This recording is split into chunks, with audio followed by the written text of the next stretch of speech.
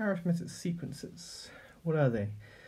Well, they are uh, a sequence of numbers where simply you have to add the same number each time to get to the next term.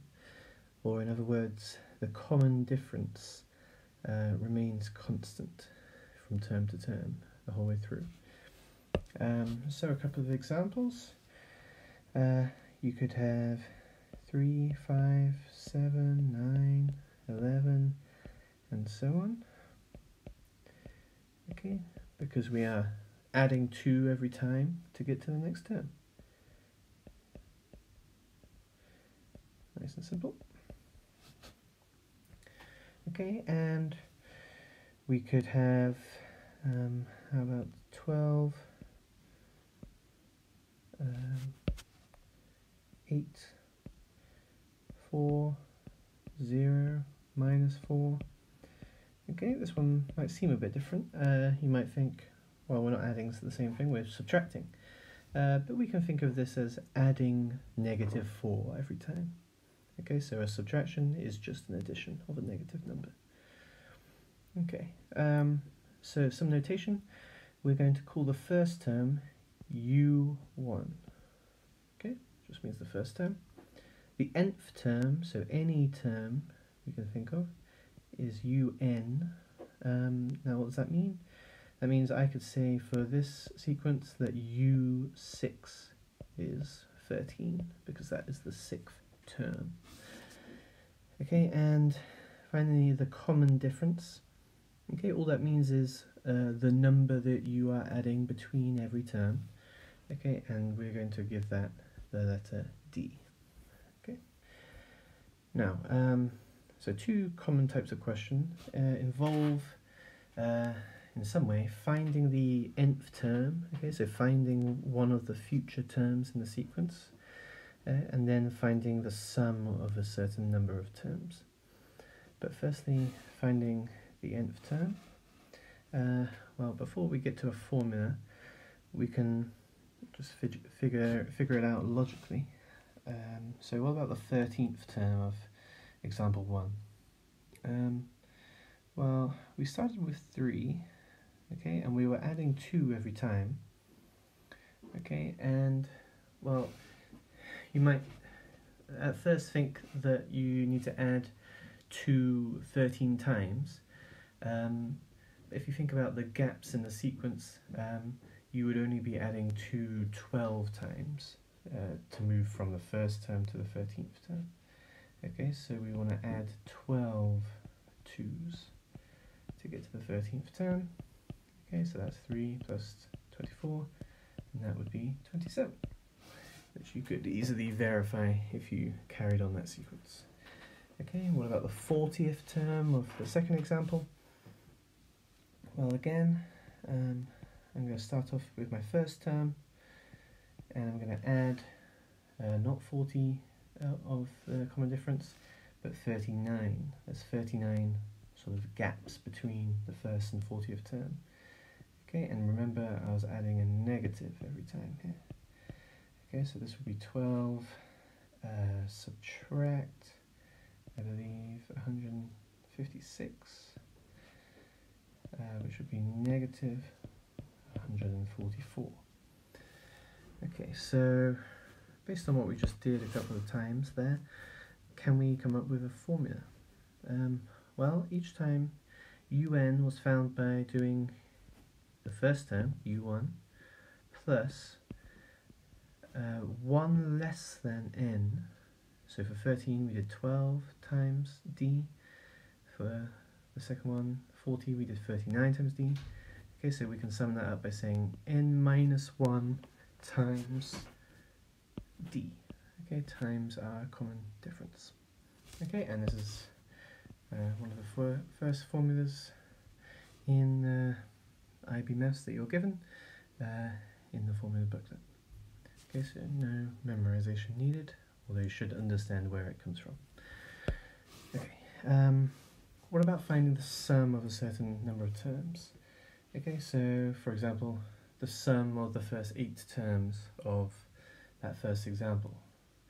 Well, yes, you could just add 3 plus 5 plus 7 and all the way up to um, 17. Okay, and that would be fine, but what if you're asked to uh, find the sum of the first 50 terms of a far more complicated sequence? Okay, you're going to be sitting there with your calculator for 10 minutes, so that's no good. Okay, so this is just going to help us find, uh, find a formula. Well, how, how would you add these terms all together? Um, not just doing them one by one. Well, one pattern we could spot actually is that if I do the first plus the last term, uh, that actually gives me the same result as the second term plus the penultimate term.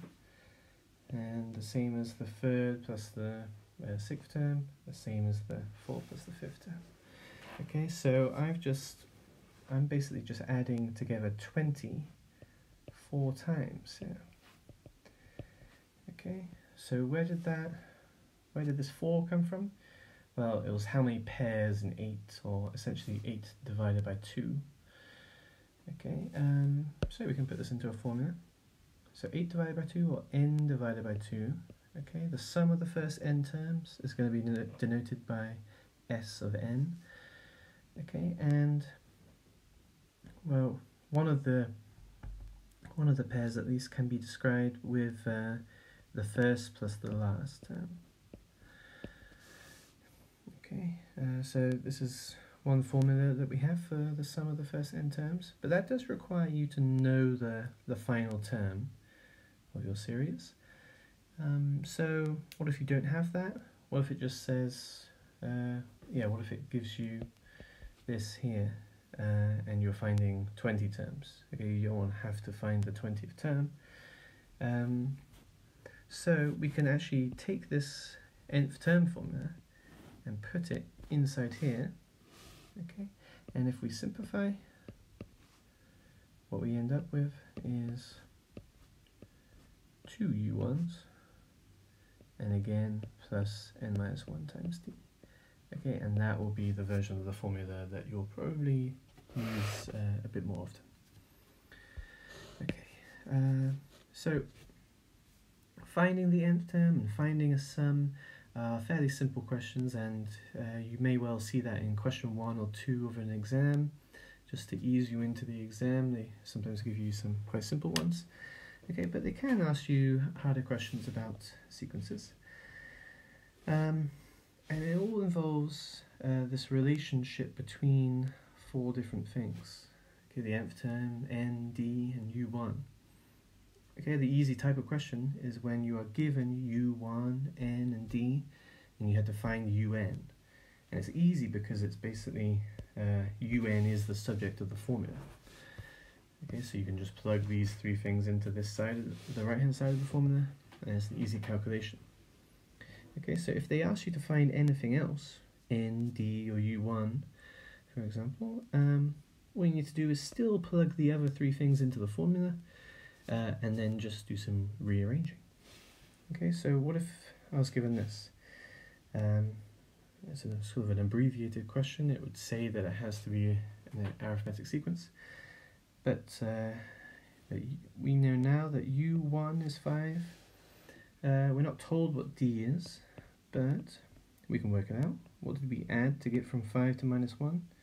Well, negative 6. We subtracted 6. Um, so uh, we are told un, uh, we are told u1, we are not told n, that's what we had to find, but we are told d. Okay, so let's fill in what we know.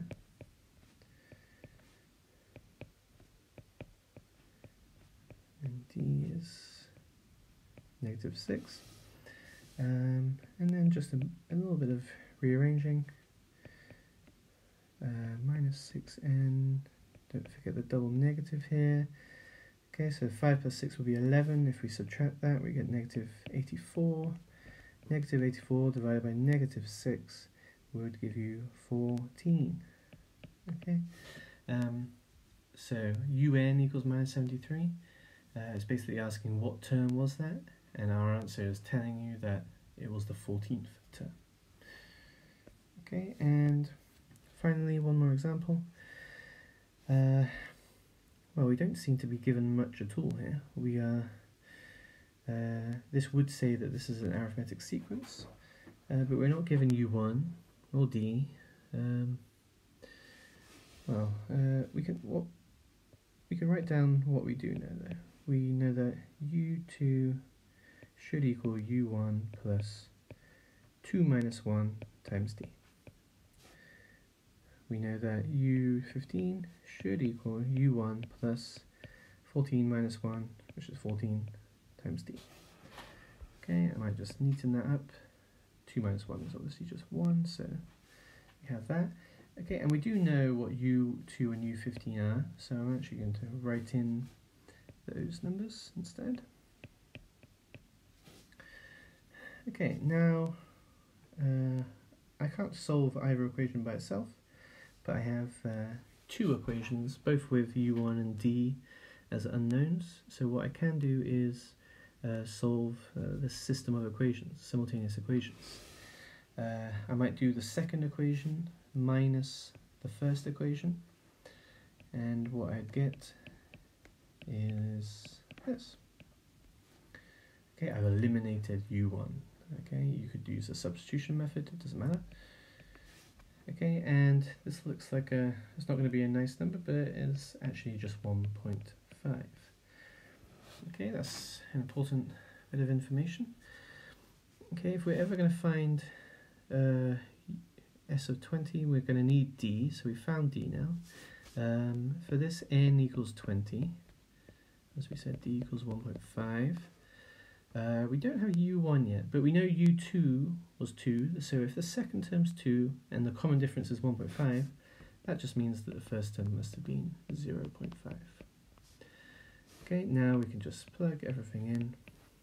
20 over 2 times 2 times 0 0.5 plus 20 minus 1 is 19 times 1.5.